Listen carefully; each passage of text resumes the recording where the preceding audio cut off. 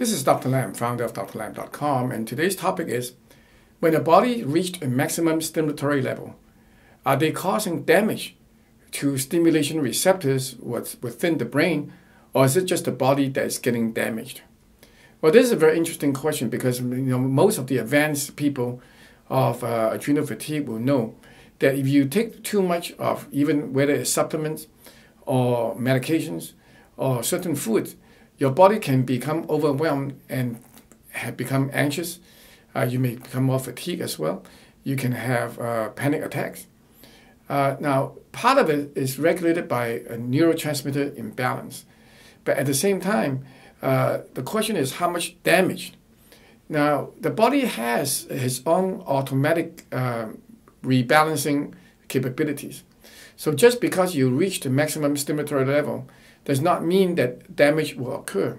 For example, if you take uh, magnesium, uh, too much magnesium is not going to be staying in the body because the body has an automatic way of getting out of it.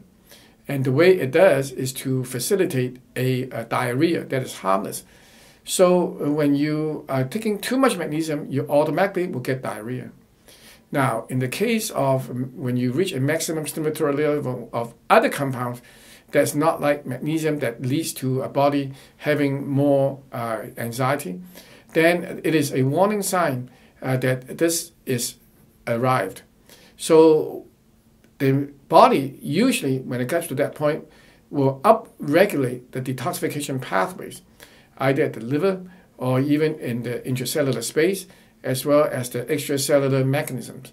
By doing that, the body is trying to facilitate the removal of these uh, metabolites as well as these compounds once it senses that it does not need it anymore.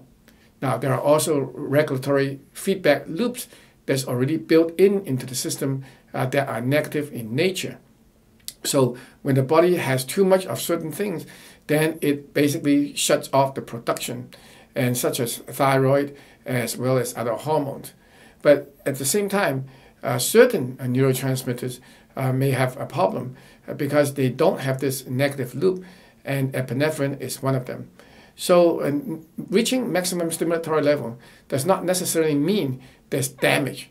It just means that the body has to work harder. And if this is not resolved, then potential damage can occur over time, and this can be very problematic because once a damage uh, in place, it's very hard to reverse. I hope you've enjoyed this video. For more information on this topic, head over to drlam.com where I've written over a thousand articles to help educate people. You can also call me at 626 571 1234 for more information on adrenal fatigue and how to navigate it. Finally, if you enjoyed this video, please subscribe to my YouTube channel. Thanks for watching.